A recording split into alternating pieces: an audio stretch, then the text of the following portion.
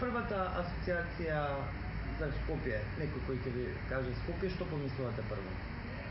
секогаш одредени сеќавања или одредени асоциации влијаат од она што подоцна се случило со тој одреден град. На например, исто ова прашање да ми го поставевте пред десетина години, сигурно ќе одговорев дека мојата прва асоциација за Скопје е некој простор во кој што прв пат сум го запознал или открил светот, сум открил што е тоа надворешен свет, кои, кои се границите помеѓу моето лично јас и границите помеѓу надворешниот свет. Би, би асоциацијата би била дека првата асоциација за Скопје е возбудата на надворешниот свет а, откривање на некои простори што до тогаш не сум ги запознал или едноставно а, би била а, поистоветување помеѓу представата на свет и на град тоа била таква некоја митска логика во која што практично според митскиот начин на размислување светот бил поистоветуван со градот или градот бил поистоветуван со Скопје.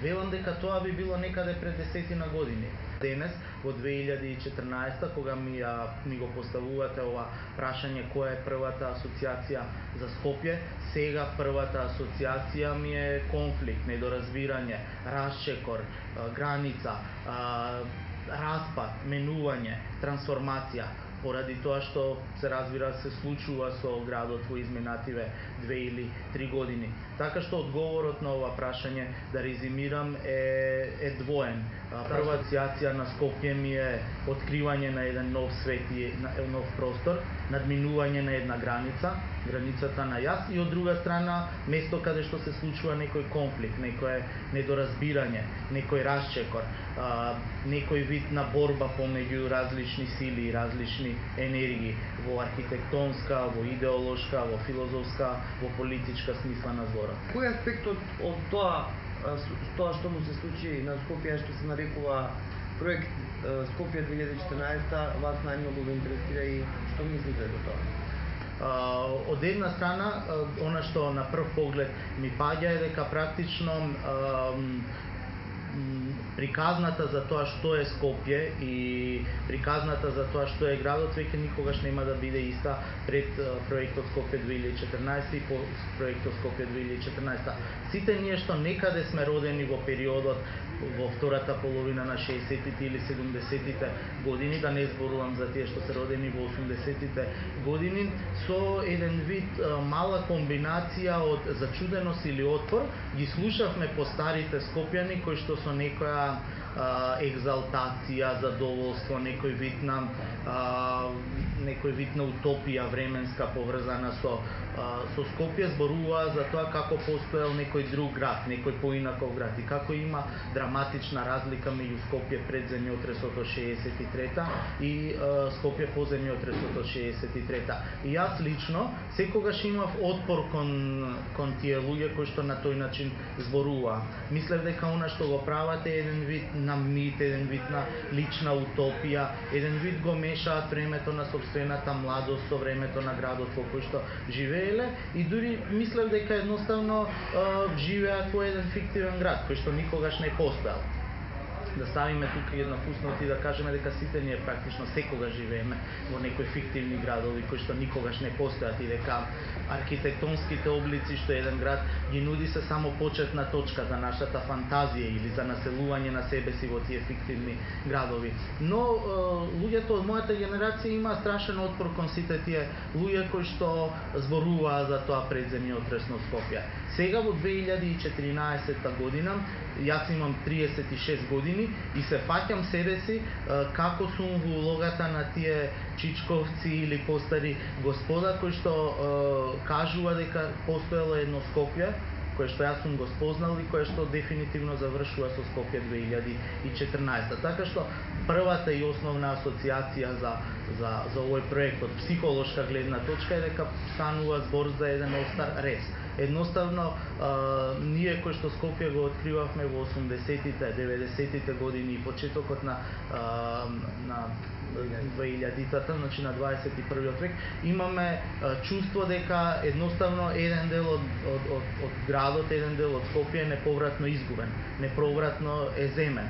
А, како што рече еден македонски писател, тие зборуваат дека градат град, а всушност крадат град А, значи тоа е некоја прва прва дефиниција. Сите ние луѓе од нашата возраст што имаме одредени несогласувања врска со овој проект, имаме чувство дека едноставно еден град е неповратно неповратно изгубен, еден град е неповратно украден, еден град е неповратно сменет. Тоа е значи тоа тоа првобитно психолошко чувство. Од друга страна па имам имам некое друго чувство, а тоа е дека од секогаш сум мислел дека Скопје не може да се сака поради неговите архитектонски архитектонски форми. Никогаш не сум искрено не сум го сакал градот Скопје затоа што ми нудел некое претерано естетско доживување од гледна точка на на архитектура или од гледна точка на визуелно задоволство. И без разлика што ќе зборуваме ние за Скопје пред 2014, многу добро знаеме дека практично цела една генерација на луѓе кои што сега се во 30-тите, 40-тите или 50-тите години, во 90-тите години или од или на почетокот на, на, на новиот век, имавме доста отпор кон начинот на кој што Скопје изгледаше. Ако се сеќавате на архитектонскиот факултет пред десетина години имаше еден скопски графит кој што велеше архитекти вие градите без никаква љубов. Така што чувството дека Скопје а, вреди нешто или чувството дека има нешто во Скопје никогаш не произлегувало од неговите од неговите архитектонски убавини. Така што мислам дека во однос а, на тоа драматичното менување на телото на Скопје не наведе до тоа можеби малку носталгично да се навратиме на Скопје од 90-тите или а, Скопје од годините што следа, но реално да си признаеме Скопјани никогаш не го сака и не го прифатија својот град поради тие естетски причини. Во Скопје од секогаш а, ни се допаѓаше и секогаш го сваќавме Скопје и тие што го сака. Скопје го сака затоа што тој, тој нудеше некоја атмосфера некое чувство на а, посебна енергија, комуникација, а, нешто што не произлегуваше од скопските улици, туку произлегуваше пред се од луѓето што живееа во него. Така што Тука малце ќе ве прекинам ќе да. дека дека иако може би дел од луѓето на вистина во 90-тите не ги сака, но требаше да се случи ова што се случи со Скопје 2014 за да го видиме тој редок всушност редок контрапункт помеѓу да, да речеме авангардна архитектура што, која што била во 70-тите како што е зградата на Македонската опера и балет наспрема на пример старата чаршија. Тоа тоа градовите архитектонски всушност ги прави вредни.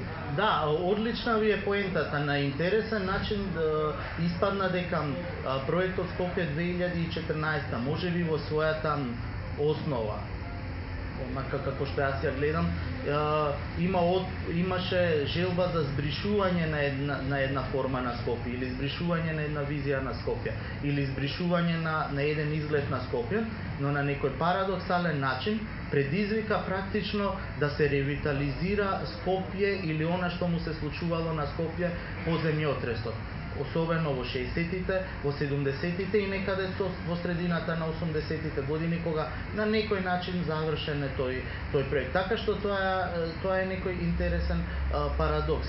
А, има луѓето отпор кон а, комуналните проблеми што се случува во Скопје. Сите велеа дека Скопје е малку а, загушлив град, дека не функционира добро од на различни нивоа, но на парадоксален начин се појави Скопје 2014 кој, кој што сакаше да го збрише и кој што дефинитивно е една желба да се збрише една визија за градот градена во 60-тите, 70-тите и 80-тите години, но и даде посебна сила на, на, на, на таа визија за градот. И практично а, мислам дека сега визијата за Скопје што била во 60-тите, 70-тите и 80-тите години е многу пожива благодарение на проектот Скопје 2014, отколку што ќе беше доколку доколку тој проект не се случеше. Инаку се согласувам во врска со некои архитектонски решенија за мене.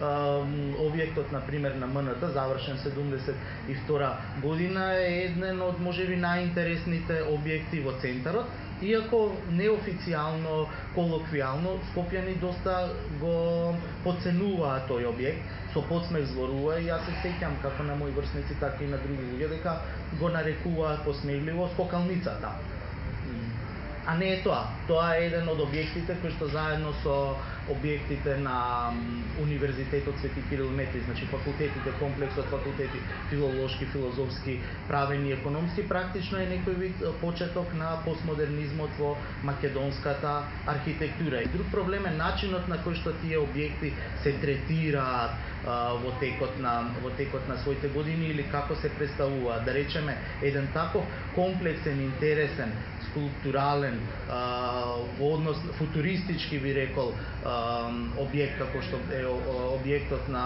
македонската опера и балет, одличен во својата поставка, беше тотално запоставен од аспект на одржување или од аспект на негово третирање. Тој со години се распаѓа, тоа е објект кој што ужасно е тешко за одржување и воопшто не беше поставен во соодветен контекст на еден вид диалог помеѓу објектите во кои што се наоѓа. Инаку да, кога да речеме, па дури и визуелно ќе ќе споредите перспективата на, Макед... на, на објектот на македонска опера и балет во контекст на во контекст на старата скопска чаршија станува збор за еден прекрасен архитектонски, филозофски, па дури јас би рекол и, и дури би рекол и етички некој начин контраком. Да се вратиме на овие скулптури и на овие споменици што се изградија во најново време.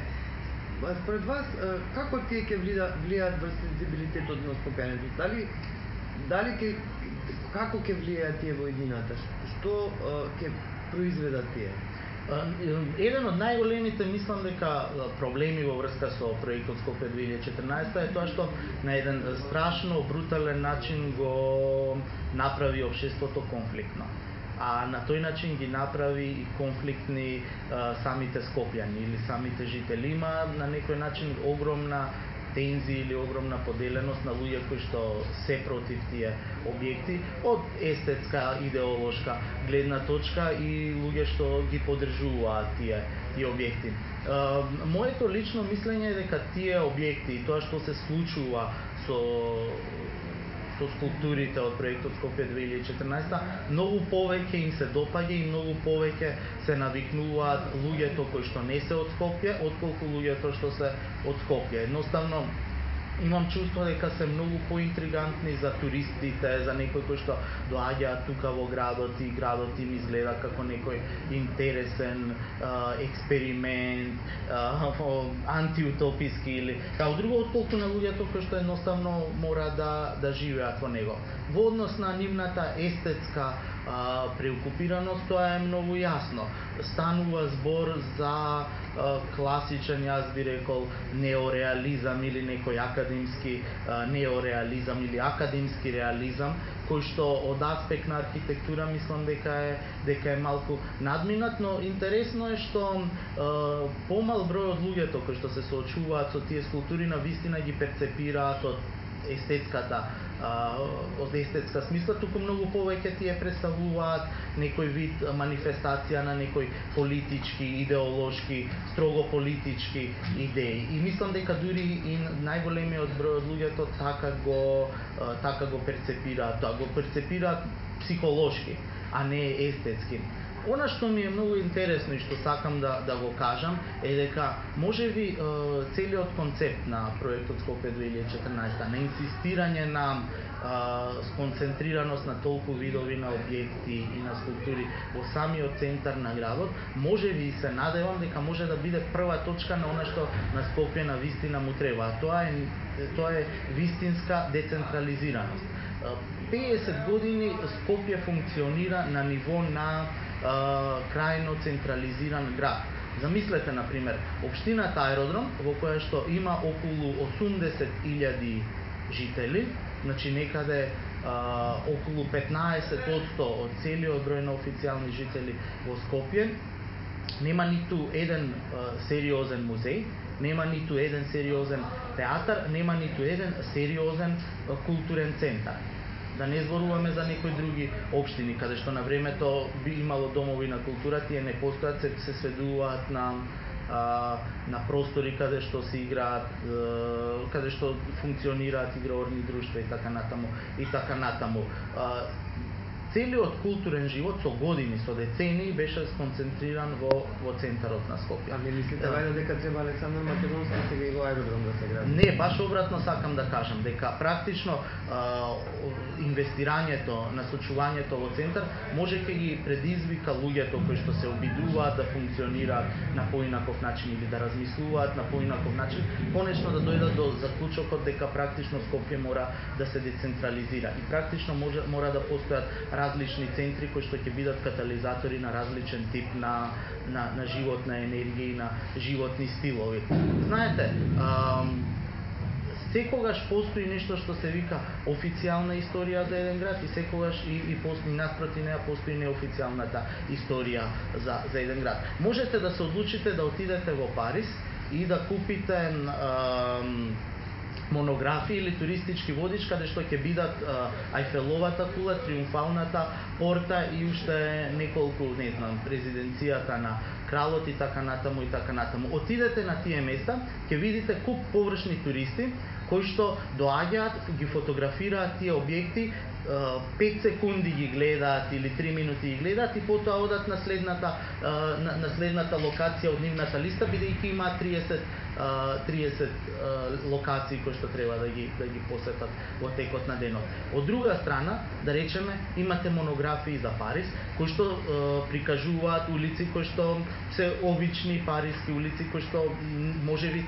можеби само случајно залутан турист ќе ги посети така натаму. Што сакам да кажам? Сакам да кажам кажам дека секогаш постои можност да се избере или да се отфрли одредена визија за одреден град.